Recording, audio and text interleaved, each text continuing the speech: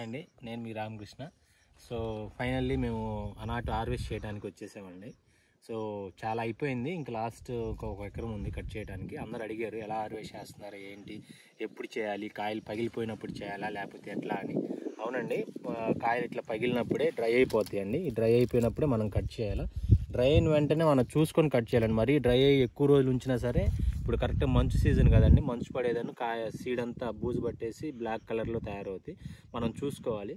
Plus ఇంకోటి ఏంటంటే ఇందులో ఇదొక ఇది ఒక గుత్త తీసుకుంటే దీంట్లో మనకు అక్కడక్కడ కొన్ని పచ్చికాయలు తగులుతాయండి.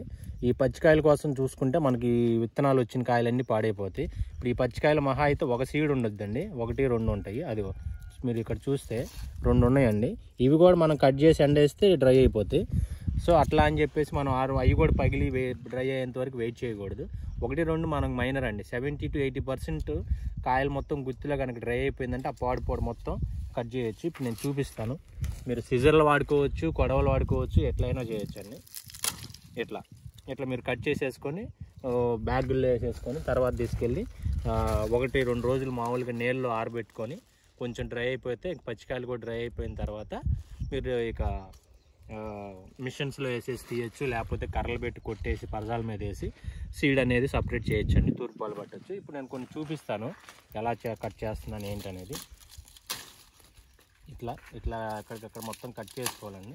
చాలామంది తర్వాత ప్రూనింగ్ ఎలా చేయాలనేది కూడా అడుగుతున్నారండి.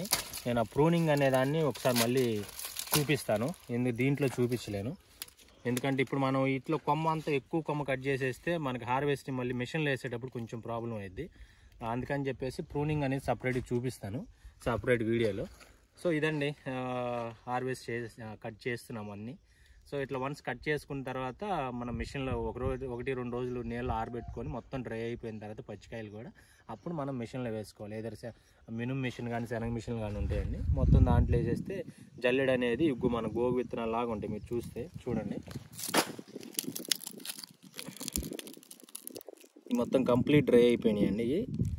సో ఇంతే ఉంటాయి సైజు. ఇవి సీడ్ చూస్తే మీకు ఇట్లా ఉంటాయండి. డ్రై అయిపోయిన ఎక్కువ మనకు కలర్ కావండి. మీరు చూస్తే చాలా తక్కువగానే అవుతాయి. అదే కనుక పచ్చికాయలు అయితే మాత్రం ఎక్కువ డ్రై అయిపోతాయి.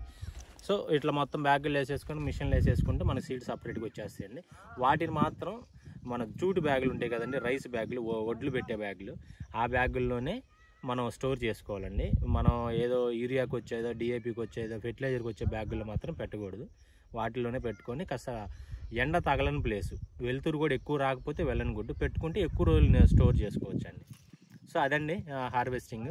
నేను నెక్స్ట్ ప్రూన్ చేసేటప్పుడు ఇవంతా కట్ చేసిన తర్వాత ఒక వన్ వీక్లో ప్రూన్ చేస్తాను. ప్రూన్ చేసేటప్పుడు ప్రూనింగ్ వీడియో కూడా పెడతానండి. Thank you.